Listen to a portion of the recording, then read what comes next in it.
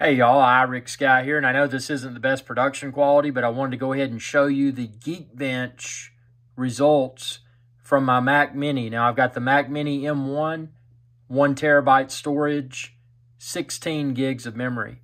So you can see the Mac Mini M1 scored a 1678 single score, 6693 multi-core. And I'm going to scroll down slowly here where you can see this. This video is in 4K, so if you got 4K, crank it up.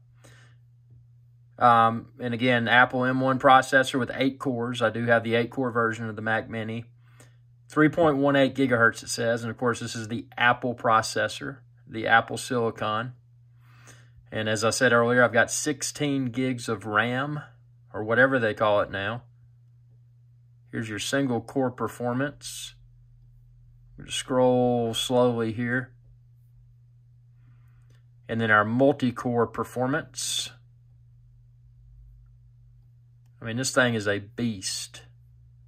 There you go. That is the Mac Mini M1, the Mac Mini Apple Silicon Geekbench score. So, you know, just to recap, App, uh, Apple Mac Mini M1 one terabyte storage, 16 gigs of memory. And that's the score I got, man. Look at that. That's crazy. That's crazy good.